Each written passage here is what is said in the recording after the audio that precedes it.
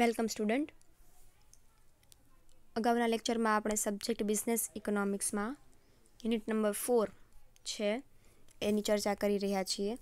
Unit number ફોરમાં આપણે અગાઉના લેક્ચર્સમાં, એટલે કે અત્યાર સુધી આપણે વ્યાપાર ચક્રનો ખ્યાલ, વ્યાપાર ચક્રનો અર્થ, વ્યાપાર ચક્રની વ્યાખ્યા અને વ્યાપાર ચક્રનું મોડેલ.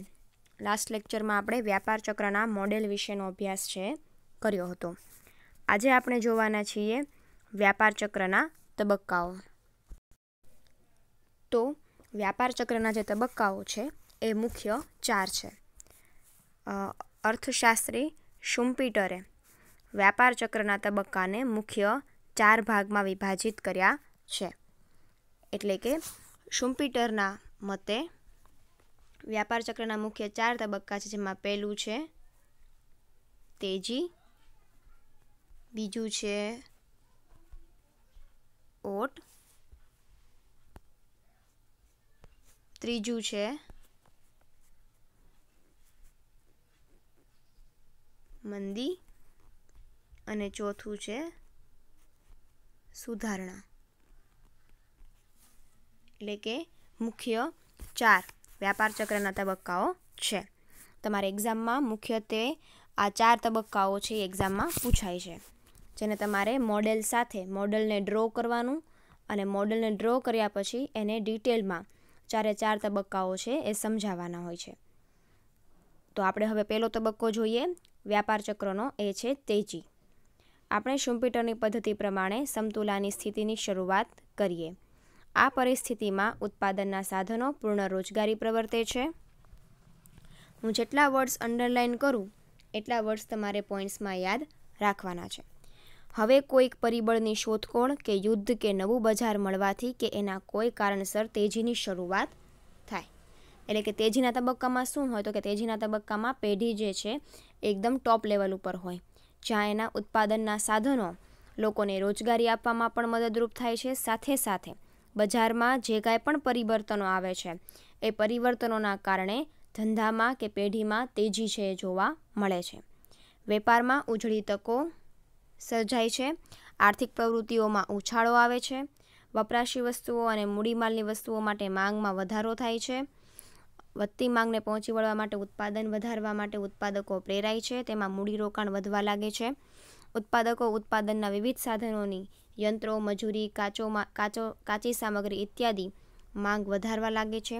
ઉત્પાદનના સાધનોને ચૂકવણી કરવા માટે બેંકમાંથી વધુને વધુ ધિરાણ મેળવવામાં આવે છે.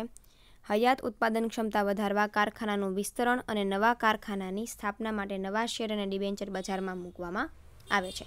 એટલે કે અર્થતંત્રમાં જ્યારે તેજીનો તબક્કો હોય, ત્યારે પેઢી માટે, ઉત્પાદકો માટે, બધા જ માટે એ છે એ બધી તકો છે એ ખુલ્લી મૂકે છે. ઉત્પાદન વધારે છે વેપારમાં વધુને વધુ સારી એવી તકો આગળ વધવા લાગે છે. આર્થિક પ્રવૃત્તિઓ છે એમાં પણ ઉછાળો આવે છે.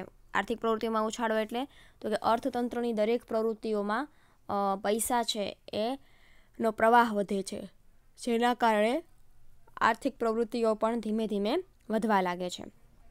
વપરાશી વસ્તુઓ અને મૂડીમાલની વસ્તુઓની માંગમાં વધારો થાય છે. વપરાશી વસ્તુઓ એટલે કે ઉત્પાદન માટે જે કોઈ પણ વસ્તુઓ જે ખૂબ અગત્યની હોય, એ વપરાશી વસ્તુઓને મૂડીમાલ એટલે કે ધંધામાં મૂડીરોકાણ અને એ પણ બધી વસ્તુઓ છે વધવા લાગે છે, જેના કારણે માંગ વધે છે.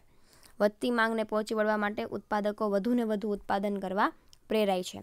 ઉત્પાદન વધુ કરવું હોય ત્યારે મૂડીરોકાણ પણ વધારવું પડે તો મૂડીરોકાણ પણ વધે છે. યંત્રો છે, મજૂરી છે, કાચી સામગ્રી છે, આ બધાની માંગ, ઉત્પાદન વધતા, આ દરેક વસ્તુઓની માંગ પણ વધે છે. સાથે સાથે ઉત્પાદનના સાધનો માટે પૈસાની વ્યવસ્થા પણ જરૂરી છે. તો પૈસાની વ્યવસ્થા માટે બેંક પાસેથી આપણે ધિરાણ લેતા હોય તો ત્યારે ધિરાણ પણ વધે છે, ઉત્પાદન વધવાથી. કારખાનાનું વિસ્તરણ થાય છે. આપણું ઉત્પાદન વધવાથી આપણે આપણા ધંધાનું કે આપણા કંપનીનું કે આપણા પેઢીનું વિસ્તરણ કરીએ છીએ. અને વિસ્તરણ કરવા માટે કંપની જે છે એ નવા શેર અને ડિબેન્ચર છે એ પણ બહાર પાડે છે. એટલે કે તેજીના તબક્કામાં દરેક પ્રવૃત્તિઓમાં છે એ તેજી જોવા મળે છે. ઉત્પાદનથી લઈને ઉત્પાદન માટે જરૂરી કાચા માલમાં તેજી જોવા મળે છે મૂડીરોકાણમાં તેજી જોવા મળે છે. આમ કંપની છે એ ખૂબ ટોપ લેવલ ઉપર છે તેજીના તબક્કામાં કામ કરતી હોય છે, ખૂબ સારી એવી રીતે કામ કરતી હોય છે. ઉત્પાદનના સાધનોની માંગ વધતી જતી હોવાથી મૂડી પર વ્યાજ ક્ષમને મળતું વેતન ઉત્પાદકોને મળતો નફો વધતો જાય છે. શું કામ? તો કે તમે જેમ જેમ ઉત્પાદન વધારો, એમ મૂડી ઉપરથી તમને વ્યાજ મળતું હોય, તો એમાં વધારો થાય. શ્રમને તમે વેતન ચૂકવો, તો શ્રમના વેતનમાં પણ વધારો કરો. આપણે ઉત્પાદન વધારે કરો એટલે શ્રમ એ પ્રમાણે કામ કરો તેનું વેતન પણ વધારવું પડે. ઉત્પાદકોને મળતો નફો વધતો જાય છે. ખાસ તેજીના તબક્કામાં સૌથી અગત્યની બાબત જો કહેવી હોય, તો પેઢીના ખર્ચ કરતાં પેઢીનો નફો છે એ ખૂબ ઝડપથી વધે છે. આ વધતી આવકની માંગ ઉત્તરોત્તર વધતો, વધારો થતો રહે છે. તેથી મૂડીરોકાણ વધુ જોર પકડતું જાય છે. આ તબક્કામાં વધતી માંગ સામે ભાવો વધતા જાય છે અને નાણાંની ખરીદ શક્તિ ઘટતી જાય છે. સામાન્ય રીતે વેતનના દર જેવી કરારી આવક ભાવો કરતાં ધીમા દરે વધતી હોવાથી તેનું મૂલ્ય ઘટતું જાય છે. તેજીના સમયમાં તેજીના સમયમાં લેવડ દેવડ વધવાથી નાણાંનો ચલણ વેગ વધે છે. પરંતુ તેની સામે બેંકનું ધિરાણ વધવાથી નાણાંનું પરિમાણ પણ વધે છે. નાણાંનું ધિરાણ પણ વધે છે. આમ થવાથી અર્થતંત્રમાં ખરીદ શક્તિ વધી, વધતી જાય છે અને ભાવો વધતા રહે છે. બીજી તરફ ઉત્પાદન સામે, ઉત્પાદન માટે લાંબો સમય માંગી લેતા કારખાનાની સ્થાપના પાછળ ખર્ચ, ખર્ચાઓ થવા લાગે છે. પરંતુ તેઓ ઉત્પાદનના તત્કાલિક, ઉત્પાદનમાં તત્કાલિક કંઈ જ વધારો વધારાનું કરતા હોવાથી જેટલી ઉત્પાદનના સાધનોની આવક વધે છે તેટલા પ્રમાણમાં પુરવઠો વધતો નથી, પરિણામે ભાવો વધતા જાય છે. બીજા પેરેગ્રાફમાં શું કહે છે? તો કે ઉત્પાદનના સાધનોની માંગ વધે છે તેના કારણે આપણને જે મૂડી ઉપર વ્યાજ મળે છે, એ વ્યાજમાં પણ વધારો થાય છે. આપણે જેટલું ઉત્પાદન વધારીએ એટલો શ્રમ વધારે રાખશું, તો શ્રમને વેતન પણ વધુ, વધારે મળે છે. અને આ સમય દરમિયાન પેઢીનો નફો છે વધતો જાય છે. તેની સાથે સાથે આપણે જ્યારે વધુને વધુ આવક કરતા હોઈએ વધુને વધુ માંગ હોય, ત્યારે એ પ્રમાણે આપણે મૂડીરોકાણ પણ છે એ વધારીએ છીએ. બરાબર? તો એની સાથે સાથે શું થાય છે તો કે ભાઈ લોકોની માંગ વધે છે, એની સામે ખરીદ શક્તિ ઘટતી જાય છે, એટલે કે વસ્તુની ગમે તે કિંમત હોય. તેજીના તબક્કામાં લોકો પાસે આવક છે એનું પ્રમાણ પણ એક રીતે વધે છે. તો ત્યારે લોકોની ખરીદ શક્તિ શું થાય છે? ઘટી જાય છે. લોકો પાસે આવક વધે છે ત્યારે વસ્તુની કિંમતમાં ભલે વધારો થાય, છતાં પણ એમની ખરીદ શક્તિ છે, શું થાય છે ઘટતી જાય છે. સમય જતાં એવું જરૂરી નથી કે વસ્તુની કિંમત વધે, તો એની સાથે લોકોની ખરીદ શક્તિમાં પણ વધારો થાય.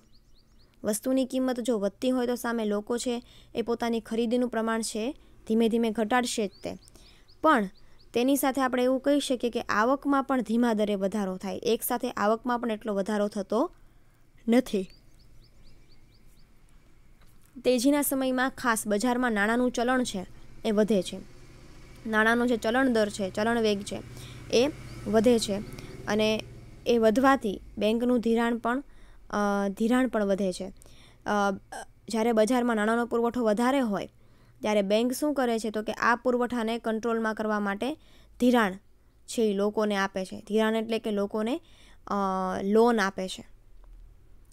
તેની સાથે અર્થતંત્રમાં ધીમે ધીમે ખરીદ શક્તિમાં પણ શું થાય છે? વધારો થાય છે. અને આમ નવા નવા કારખાનાઓની શરૂઆત છે એ નવા નવા કારખાનાઓ સ્થાપવાની શરૂઆતમાં પણ કહેવાય ને કે શરૂઆત થાય છે. જ્યારે બેંક પાસેથી ધિરાણ આપણને ઓછા વ્યાજના દરે વધુ વ્યા વધુ ધિરાણ મળતું હોય ત્યારે શું કરે કારખાનાના માલિકો કે પેઢી? તો કે પોતાના કારખાનાનું વિસ્તરણ કરે. પોતે કારખાના ચલાવતા હોય એ કારખાનાનું ધીમે ધીમે વિસ્તરણ કરે છે. અને આમ ઉત્પાદનના જે સાધનો છે, એનો વધુને વધુ ઉપયોગ કરીને આવક વધારવાનું કામ છે, એ થાય છે. તેજીના સમયમાં ગતિવર્ધક વધતી આવક થી વધતું જતું મૂડીરોકાણ એટલે ગુણક. વધતા મૂડીરોકાણની વધતા વધતા મૂડીરોકાણથી વધતી જતી આવક એકબીજા પર અસર કરે છે. આથી આ તબક્કામાં રોજગારીની તકોમાં થતો વધારો થતો વધારો રોજગારી મેળવનારાઓ કરતાં વધી જાય છે. ઉત્પાદનના સાધનો મહત્તમ ઉપયોગ કરવામાં આવે છે અને ઓછા કાર્યદક્ષ સાધનો પણ રોજગારી મેળવી શકતા હોય છે. તેજીના સમયમાં શું હોય તો કે ભાઈ લોકોની આવક વધે છે એટલા માટે લોકો મૂડી રોકાણ વધારે છે. એટલે ફોર એક્ઝામ્પલ જુઓ મારી આવક પહેલાં ઓછી હોય, પછી અમુક તેજીનો સમય એવો આવે છે જ્યારે મારી આવકમાં વધારો થાય છે, તો હું મારી આવકનો બધો હિસ્સો કાંઈ ખર્ચ કરીશ નહીં. મારી આવકનો અમુક હિસ્સો હું શું કરીશ? તો કે એનું મૂડીરોકાણ કરીશ. મૂડીરોકાણ કરીશ સાથે સાથે મૂડીરોકાણ કરવાથી મારી આવકમાં પણ વધારો થશે. શું કામ? તો કે હું જ્યાં મૂડીરોકાણ કરું છું ત્યાંથી મને વ્યાજ સ્વરૂપે છે, ડિવિડન્ડ સ્વરૂપે છે, આવક પ્રાપ્ત થવાની છે. તો હું જ્યાં કાંઈ પણ મૂડીરોકાણ કરું છું, એ મૂડીરોકાણ દ્વારા પણ મારી આવક તો છે, વધવાની જ છે. ભલે મારી આવક વધે છે એટલે હું મૂડીરોકાણ કરું છું, સાથે સાથે મારા મૂડીરોકાણ વધવાથી મારી આવકમાં પણ અમુક અંશે વધારો થાય છે.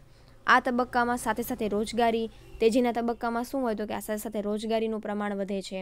રોજગારી મેળવનાર લોકોની સંખ્યા વધે છે, જેના કારણે જે કાંઈ પણ સાધનો છે, એ સાધનો ઉત્પાદનના સાધનો છે, એમાં શ્રમનું પ્રમાણ વધવાથી, રોજગારીનું પ્રમાણ વધવાથી આપણે અન્ય સાધનોની પણ કાર્યક્ષમતા છે એ ધીમે ધીમે વધારી શકશું. એટલે કે સામાન્ય રીતે તેજીના તબક્કામાં એકમ કે પેઢી માટે દરેક જગ્યાએ આવકના સ્ત્રોત વધે છે, ઉત્પાદન વધે છે, નફો વધે છે, જેથી પેઢી છે એ ખૂબ સારી એવી રીતે પોતાનું કામ કરી શકે છે. તેજીના તબક્કા પછીનો બીજો તબક્કો છે, એ છે ઓટ, જેને આપણે ઇંગ્લિશમાં રિસેશન કહીએ છીએ. તો હવે આપણે જોઈએ બીજો તબક્કો, એ છે ઓટ. ઉપર આપણે જોઈ ગયા તે પ્રમાણે તેજીના તબક્કામાં જ ઓટના મૂળ નખાઈ જાય છે. વેપારીઓ અને ઉત્પાદકો જ, ઉત્પાદકો અચાનક જ ભવિષ્યના નફા વિશે ચિંતા કરતા થઈ જાય છે. અર્થતંત્રમાં હતાશાનું વાતાવરણ સર્જાતા શેર બજારોના ભાવ નીચા જાય છે. મોટે ભાગે ઓટની શરૂઆત, મોટા ભાગે ઓટની શરૂઆત ઘણી જ નાટકીય સ્પષ્ટ રીતે નોંધી શકાય તેવા પ્રસંગોવાળી હોય છે. કોઈ એક મોટી પેઢી કે બેંક દેવાળું કાઢે છે અને ગણતરીના દિવસોમાં ઘણી પેઢીઓના શેરના ભાવો ઝડપથી નીચા જવા લાગે છે. કોઈક વખતે ઓટની શરૂઆત પાછળ બાહ્ય પરિબળો, જેમ કે બીજા દેશે કરેલું અવુલ, અવમૂલ્યની જવાબદાર હોય છે. જોકે એ પણ એટલું જ સાચું છે કે કે કોઈક વાર તેજીનો અંત આવવાની સ્થિતિમાં કોઈક જવાબદાર પરી, બાહ્ય પરિબળો, જેમ કે યુદ્ધ, તેજીના તબક્કો લંબાઈ છે પણ ખરો. હવે જુઓ. કોઈ પણ વ્યાપાર ચક્ર છે ને, એ એવું એક સર્કલ છે કે જેમાં તેજી હોય તો એક સમય એવો આવે છે કે એમાં ઓટ તો આવે જ છે. એક સમય એવો પણ આવે છે કે એમાં મંદી પણ આવે છે. એટલે કે એટલા માટે જ વ્યાપાર ચક્રનું નામ વ્યાપાર ચક્ર છે, કારણ કે આ ચક્ર ક્યારેય સ્થિર રહેતું નથી. જેમ તેજીનો તબક્કો હોય, એમ ધીમે ધીમે ઓટ પણ આવે છે. તેજીની શરૂઆત હોય, એ પોતાની સાથે ઓટ લઈને આવે જ છે. વેપારીઓ છે એ ભવિષ્યના નફા માટે અમુક સમયે ચિંતિત થઈ જતા હોય. અર્થતંત્રમાં વાતાવરણ ફરે, અર્થતંત્રના પરિબળોમાં ફેરફાર થાય, જેની સીધી અસર આપણા દરેક આર્થિક પ્રવૃત્તિઓ ઉપર થાય છે. ફોર એક્ઝામ્પલ, શેર બજારની કિંમત છે એમાં ઘટાડો થાય, એની સીધી અસર દરેક પેઢી ઉપર છે એ થાય છે. બરાબર? તો મોટે ભાગે ઓટ છે એક પ્રકારે શું છે? નાટકીય છે. નાટકીય એટલે શું? તો કે નાટકમાં કેમ? પાત્રોમાં, પાત્રોના વ્યવહારમાં અચાનક પરિવર્તન આવે, એમ વ્યાપાર ચક્રમાં પણ ઓટ આ પ્રકારનું પરિવર્તન છે. કોઈ એક પેઢી જો પોતાની આર્થિક પરિસ્થિતિના કારણે ખોટ કરવા માંડે, તો એની સીધી અસર બીજી પેઢી ઉપર થાય છે. જો કોઈ એક પેઢી છે, એની શેરની કિંમતમાં ઘટાડો થાય, તો ગણતરીના દિવસોમાં બીજી કંપનીના શેરની કિંમતોમાં પણ ઝડપથી ઘટાડો થવા લાગે છે.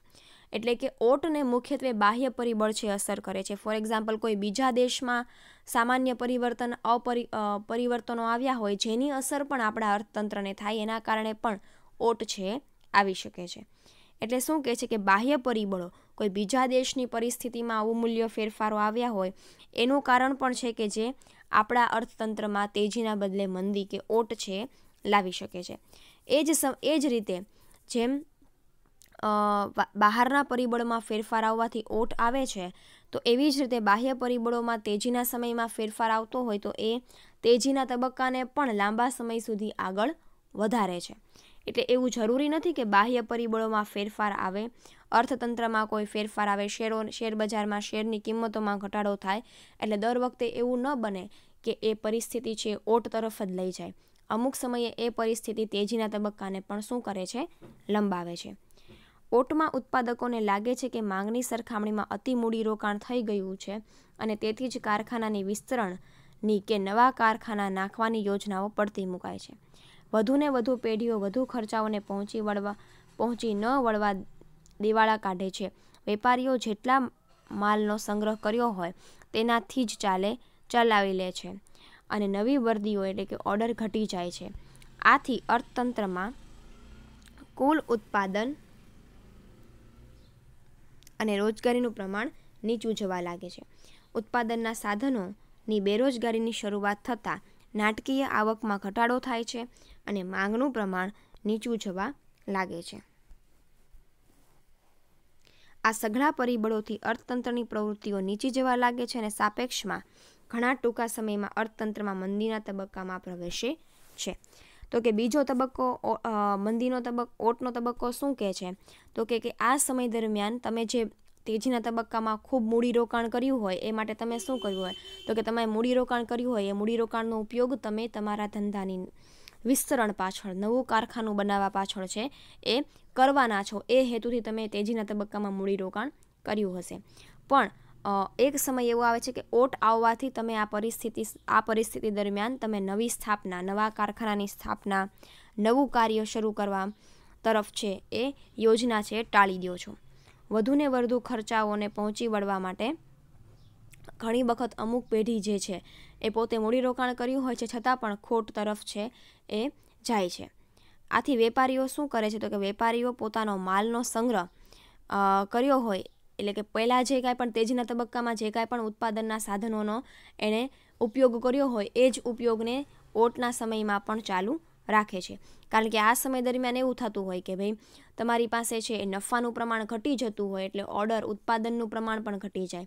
ઉત્પાદનનું પ્રમાણ ઘટી જાય એનું એક રીઝન એવું પણ હોય કે લોકોની માંગ ઘટે છે ઓટના તબક્કામાં. તો લોકોની માંગ છે, ઘટે છે, ઓર્ડર ઘટે છે, એના કારણે ઉત્પાદનનું પ્રમાણ પણ ઘટે છે. રોજગારીનું પ્રમાણ પણ નીચું આવે છે. લોકો છે બેરોજગારી તરફ છે, ધીમે ધીમે વધતા જાય છે. અને એના કારણે કહેવાય ને, માંગનું પ્રમાણ પણ ધીમે ધીમે શું થાય છે? ઘટતું જાય છે. આ દરેક પ્રવૃત્તિઓ શેના કારણે? તો કે અર્થતંત્રમાં જે કાંઈ પણ ફેરફાર આવ્યા હોય છે, એ ફેરફારના કારણે તેજીના તબક્કામાંથી વ્યાપાર ચક્ર છે, એ મંદી ઓટના તબક્કા તરફ જાય છે.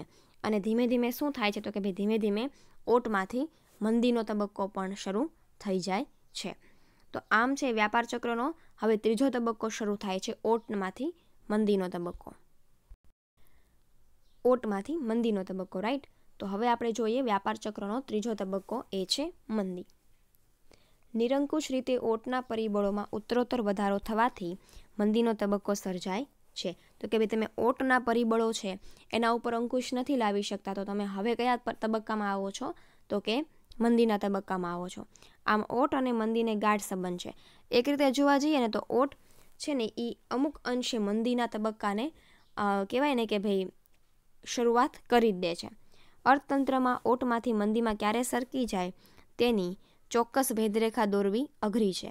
હવે આપણે એવું ન કહી શકીએ, ઓટનો તબક્કો પણ એવો છે કે જ્યાં તમારું ઉત્પાદન ઘટે છે, નફો ઘટે છે, રોજગારીનું પ્રમાણ ઘટે છે, મૂડીરોકાણ ઘટે છે. તમે કોઈ નવું નવા, નવી જગ્યાએ ઉત્પાદન છે એ હાથ ઉપર લેતા નથી. તો આપણે મંદી અને ઓટના તબક્કા વચ્ચે એક ભેદરેખા જો શોધવી હોય, તો એ કેવી બની જાય છે, ખૂબ અઘરી બની જાય છે. મંદીના તબક્કામાં ઉત્તરોત્તર આવક ઘટવાની સાથે માંગ ઘટતી જાય. જે મંદીનો તબક્કો એવો હોય કે જ્યાં લોકો છે એની આવક ઘટે છે. શું કામ? તો કે રોજગારીનું પ્રમાણ ઘટે છે. ઓટના તબક્કામાં આપણે જોયું કે ધીમે ધીમે રોજગારી છે ઘટતી જાય છે. તો રોજગારી ઘટે છે એટલે લોકોની આવક ઘટે છે અને આવક ઘટવાથી માંગમાં પણ ઘટાડો થાય છે અને વેચાણ કરવામાં મુશ્કેલીઓ વધી જાય છે. આવક ઓછી હોય, માંગ ઓછી હોય એટલે આપણે આપણું વસ્તુઓનું વેચાણ પણ ઓટના તબક્કામાં, મંદીના તબક્કામાં છે એ સાવ ઘટાડી દઈએ છીએ, ઘટાડો થાય છે એમાં પણ. ઉત્પાદનના સાધનો બેકાર થવા લાગે છે, સામાન્ય રીતે ભાવો ઘટતા હોય તેમ કરતાં ઓછા દરે નાણાકીય વેતન દરો ઘટતા હોવાથી જેઓ રોજગારી ટકાવી રાખવાનો સમર્થ હોય તેઓનું વાસ્તવિક વેતન વધે છે. એટલે શું કહે છે?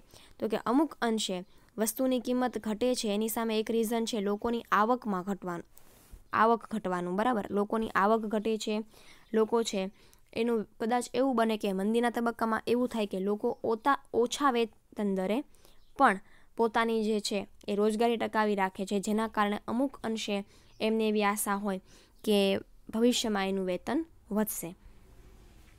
મંદીના તબક્કામાં જે પેઢીઓ અસ્તિત્વ ધરાવી શકે છે તેઓ ઉત્તરોત્તર નીચો નફો મેળવી, મેળવે લે છે. એટલે કે મંદીના તબક્કામાં શું થાય? નફાનું પ્રમાણ ઘટતું જાય છે. કેન્સની પરિભાષામાં કહીએ તો મૂડીની સીમાંત કાર્યદક્ષતા ઘટતી જાય છે. આથી ધિરાણ માટેની માંગ ઘટતી જાય છે અને બેંકની અનામતો વધતી જાય છે.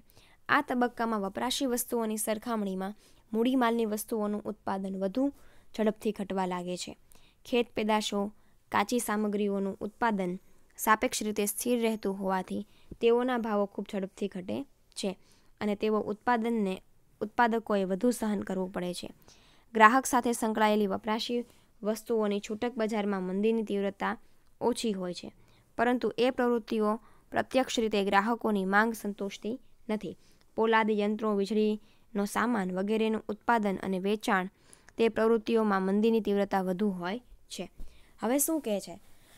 તો કે મંદીનો તબક્કો છે ને એ એવો તબક્કો છે કે જ્યાં તમારું નફાનું પ્રમાણ છે એ સાવ એટલે સાવ ઘટી જાય છે.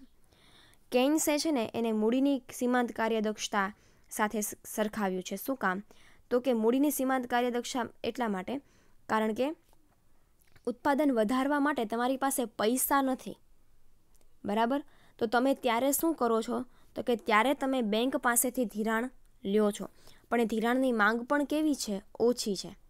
બરાબર? તો આ તબક્કામાં શું થાય? તો કે આ તબક્કામાં જે મૂડી સાધનો દ્વારા તમે વસ્તુનું ઉત્પાદન કરતા હો, એ મૂડી સાધનોની માલ છે એ ઘટતી જાય, માંગ છે ઘટતી જાય છે. દાખલા તરીકે તમે મશીન છે ટેકનોલોજી છે, એ બધાની માંગ મંદીના તબક્કામાં ઘટાડો, ઘટાડી દો છો. અને કાચી વસ્તુ દ્વારા ઉત્પાદન થતું હોય, એ વસ્તુઓની માંગ છે, એનું પ્રમાણ કેવું રહે છે સ્થિર. કોઈ પણ વસ્તુ એવી છે કે જેમાં કાચો માલ જરૂરી છે, જે આપણને ખેત પેદાશોમાંથી મળતો હોય. એ કાચા માલનું પ્રમાણ છે સ્થિર રહે છે, તો એમની એમની માંગ છે, એ એટલી બધી ઝડપથી ઘટતી નથી.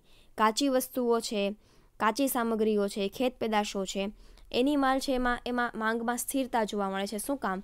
તો કે એની માંગ છે, એવી માંગ છે કે તમારે તમારી વસ્તુનું ઉત્પાદન કરવું હોય તો કાચો માલ છે ખેત ખેત પેદાશોમાંથી આપણને મળતો હોય એ તો તમારે મંગાવવો જ પડશે, ભલે તમે સાધનોની માંગ ઘટાડી દો.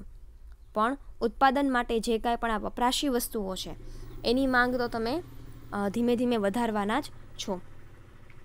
અને આ આ આ સમય દરમિયાન આપણે શું કરીએ છીએ તો કે ભાઈ, આ સમય દરમિયાન તમે ગ્રાહકો સાથે સંકળાયેલી વપરાશી વસ્તુઓ જે છે, વપરાશી વસ્તુઓ જે છે, એની માંગ જે છે એમાં પણ ધીમે ધીમે છે એ ઘટાડો થતો જોવા મળે શું કામ? તો કે લોકો દ્વારા મંદીના તબક્કામાં લોકો પાસે આવક નથી હોવાની તો એ તમારી પાસેથી વસ્તુ માંગવાના પણ નથી, માંગ પણ ઘટવાની છે. તો આ સમયગાળા દરમિયાન છે એ યંત્રોની, સાધનોની, સામગ્રીઓની તમે માંગ ઘટાડી દો છો. પણ એની સામે મંદીના તબક્કામાંથી બહાર આવવા માટે આ બધા જ સાધનોનો ઉપયોગ પણ કરવો એટલો જ જરૂરી છે.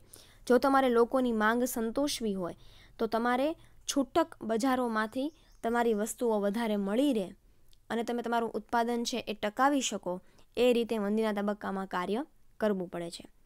મંદીમાં કુલ ઉત્પાદનનું પ્રમાણ નીચું નીચું જતું હોવા છતાંય સામાન્ય ભાવ સપાટી ઘટતી માંગને કારણે નીચી જતી હોય છે.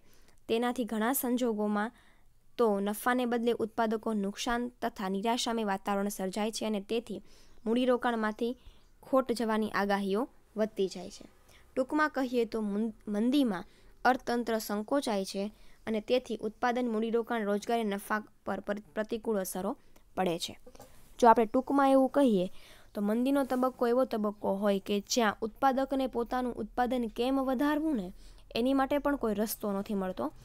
ઉત્પાદનની સાથે સાથે મૂડીરોકાણ, રોજગારી, આ બધા જ પરિસ્થિતિમાં કાંઈક ને કાંઈક પેઢીને નુકસાન જતું જોવા મળે છે. નુકસાનવાળું વાતાવરણ છે એ સર્જાય છે.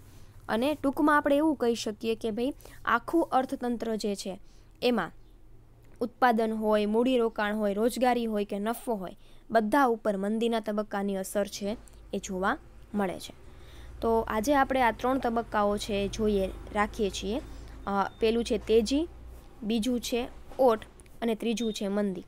હવે પછીના નેક્સ્ટ લેક્ચરમાં આપણે સુધારણાનો તબક્કો છે એ જોઈશું. Thank you.